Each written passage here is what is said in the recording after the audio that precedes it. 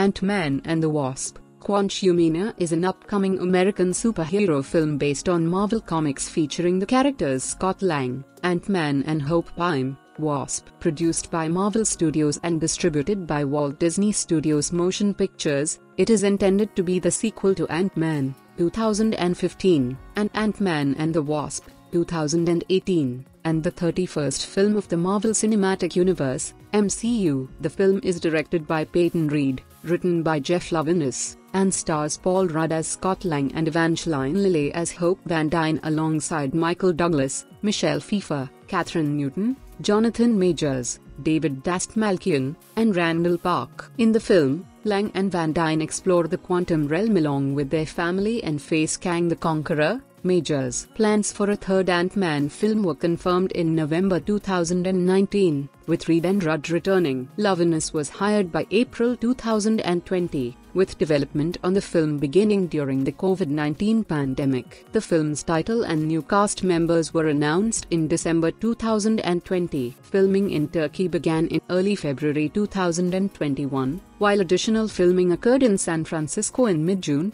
ahead of principal photography starting at the end of July at Pinewood Studios in Buckinghamshire and ending in November.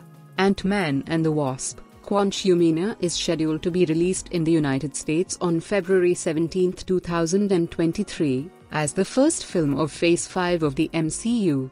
Scott Lang and Hope Van Dyne, along with Hope's parents Hank Pym and Janet Van Dyne and Lang's daughter Cassie, go on a new adventure exploring the quantum realm that pushes their limits and pits them against Kang the Conqueror.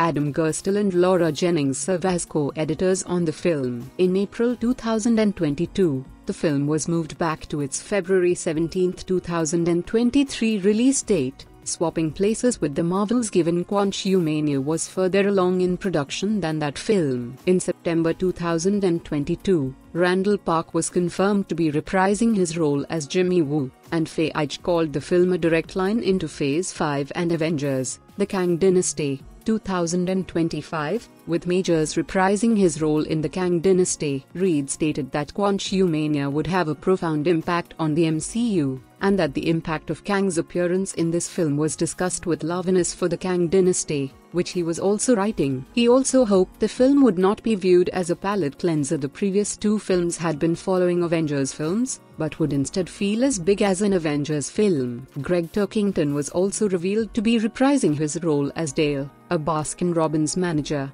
from Ant-Man. In October 2022, William Jackson Harper was revealed to be appearing in the film in an undisclosed role, and in November, Katy O'Brian was revealed to be appearing in the film alongside David Dastmalchian, reprising his role as Kurt from the first two films, after he previously said he was not involved in Quantumania.